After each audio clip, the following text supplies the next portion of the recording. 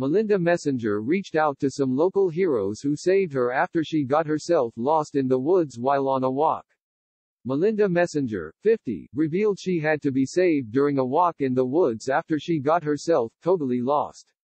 A scary situation to be in, the TV presenter and former Page 3 model took to social media to thank those who came to her rescue. Posting a heartfelt message on Twitter hoping it would reach those who helped her, she wrote, Thank you to Robbie and the two other kind people. who helped me find the way out the woods yesterday, she began. She jokingly added, literally not metaphorically, sick. As fans started to wonder what she meant, she went on to explain, I got lost on my walk, people are kind, and it's lovely to see. Melinda quickly followed up with a separate post to apologize for the typo.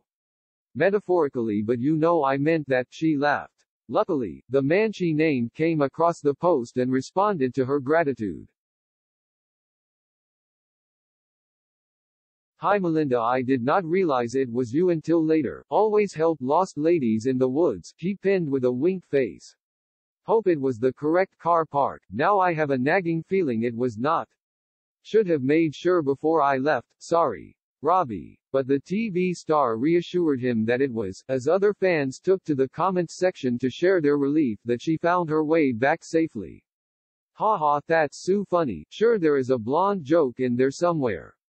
If you go down to the woods today.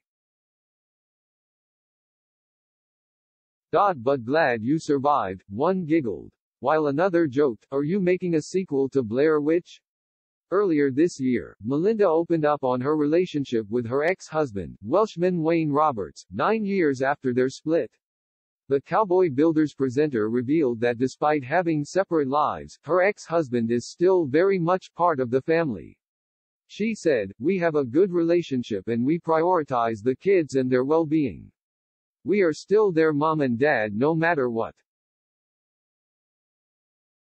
Melissa continued, Wayne has his life down in Devon and I have mine here, but we will always be in one another's lives because of our children. Speaking in an exclusive interview with OK magazine, Melissa continued, I always used to say it felt a bit like he's become a cousin because he's a member of our family but in a different way. Melissa and Wayne parted ways after 14 years of marriage. They tied the knot in 1998 in a Buddhist wedding ceremony in Bali, before divorcing in 2012. The couple have children Morgan, 20, Flynn, 19, and Evie, 17, together.